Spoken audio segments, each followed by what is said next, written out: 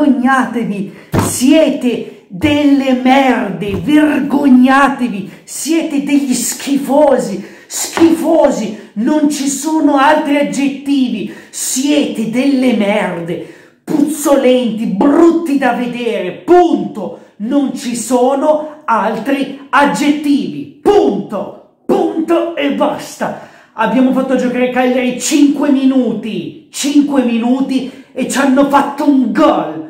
Basta. Questo è stato il primo tempo, uno schifo da vedere. Se avessi dovuto scegliere tra un chilo di prugni e vedermi il primo tempo, come effetto per cagare, avrei scelto guardarmi il primo tempo di Sampdoria Cagliari. Punto! Punto esclamativo.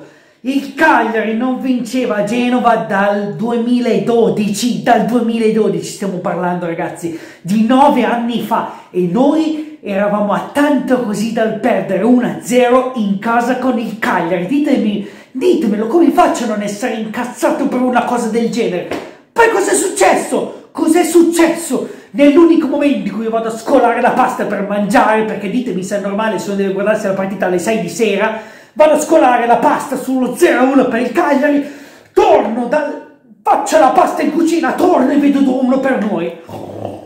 No! Ma al di là di quello, al 96esimo l'arbitro da 3, 3 minuti di recupero, al 96esimo il Cagliari fa 2 a 2. Non mi interessa, non mi interessa, abbiamo fatto talmente schifo che preferisco aver pareggiato che aver vinto, perché vincere una partita così schifosa mi avrebbe dato fastidio. Perché? Perché ve lo dico io, perché abbiamo fatto schifo, punto. E qua non c'entra Ranieri, non c'entra Ranieri, guardate il dito, non c'entra Ranieri, perché Ranieri che ci avrà 70 anni per gamba, se giocasse in campo giocherebbe meglio, punto, punto e basta.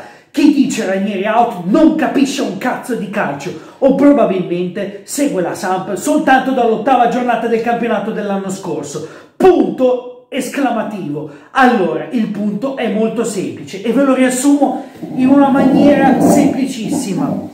In una maniera semplicissima. Eravamo abituati a un gioco con Giampaolo. Sono andati via due pedine fondamentali, è andato via Giampaolo, va bene, prendiamo Di Francesco che è un grande allenatore. Dopo sette giornate, una vittoria e sei sconfitte. Fa schifo, basta. Prendiamo un allenatore che allena da 30-40, allena da ancora prima che nascesse. Va bene prendiamo lui che perlomeno è una garanzia. Punto, va bene. Ranieri ti dice, Sampdoria, io ti salvo. Mi vuoi prendere del giocatore per fare un salto di qualità? No, va bene. Io mi limito a salvarti, non me ne frega niente del gioco bello, non me ne frega niente di farti crescere i giocatori. Sampdoria, io ti salvo, ti va bene? Sì. Basta, punto. Io non esigo più nient'altro, voglio soltanto che Ranieri mi faccia rimanere in Serie A.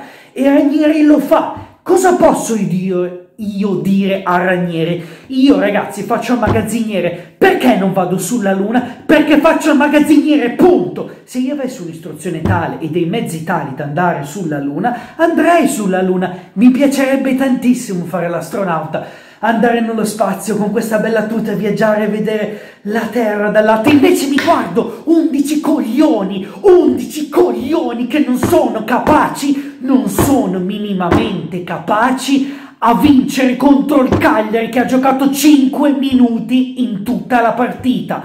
L'arbitro, quel grandissimo figlio di una donna che ama leccare cose dalle forme falliche, con il di dietro grande come una porta aerei, concede appena 3 minuti di recupero e il Cagliari pareggia al minuto 90 più 6. Da che mondo è mondo? 1, 2, 3 viene più 1 di prima di 1, 2, 3, 4, 5, 6. Ma a quanto pare il signor arbitro no! C'è tempo, c'è tempo, diamo tempo al tempo, finché tempo è tempo, finché ben tempo diamo tempo al tempo. Tanto c'è tempo, ma certo! Ragazzi vi chiedo scusa se ho dovuto dividere il video in due parti, ma alla fine del primo video ho detto cose che YouTube mi bloccherà più meno di mezzo secondo, quindi purtroppo...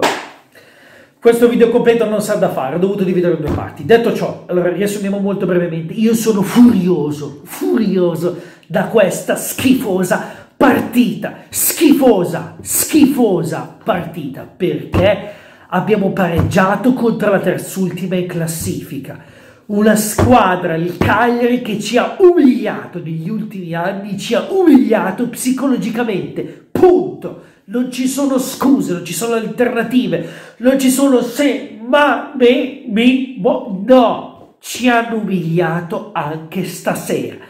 Punto. Non bastava il 4-3 dell'anno scorso, è bastato il 2-2 di quest'anno. È una vergogna che voi non abbiate avuto la testa di riuscire a mantenere un risultato utile, mal cagato contro una squadra di merda come il Cagliari, che oggi non ha giocato e noi abbiamo giocato anche peggio. Questo, ripeto, non viene da Ranieri, perché sono convinto che se Ranieri scendesse in campo a giocare, giocherebbe molto meglio della maggior parte dei giocatori che oggi erano titolari. Punto! Detto ciò, Sapete cosa mi fa arrabbiare ancora di più? Vedere chi classifica è sopra di noi. Il Verona no, perché il Verona gioca benissimo e io sogno, bravo di avere un gioco bello alla metà di quello che c'era al Verona. Il Sassuolo no, che per quanto mi sia sulle palle, perché io odio il Sassuolo, gioca molto meglio di noi. Chi è sopra di noi? L'Udinese. Eh? L'Udinese. Chi c'è in difesa dell'Udinese? Strigellarsi, quello che gioca a pallavolo, l'altro. Fa cagare. A centrocampo chi c'è nell'Udinese? De Paul. In attacco chi c'è? Nestorowski.